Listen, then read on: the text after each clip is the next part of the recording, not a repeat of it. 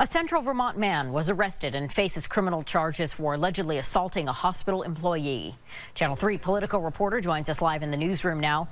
Calvin, what happened?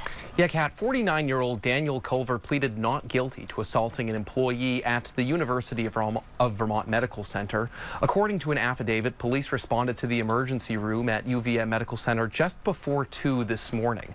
Police say Culver was treated and discharged from the ER, but was in the waiting but was waiting in the family room. Now, police told him he couldn't wait there, and Culver allegedly became irritated, threatening police and medical staff staff. That's when police say Culver then allegedly struck a UVMMC security officer, Lon Tatro.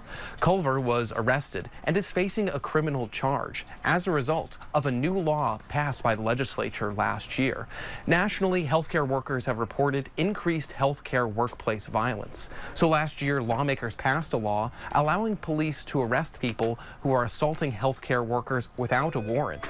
I asked State Senator Ginny Lyons whether this law will be effective in curbing violence. Those things take time. Uh, educating people about how to behave around violent uh, patients or family members is, is it's not something healthcare workers are trained for. They were trained to care.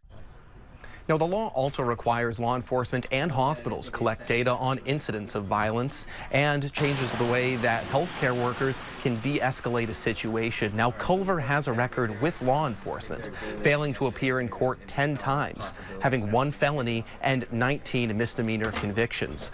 Burlington police did not respond to multiple requests for comment. Now, coming up tonight at 6, we hear from the hospital and what happens when the suspect is having a mental health crisis.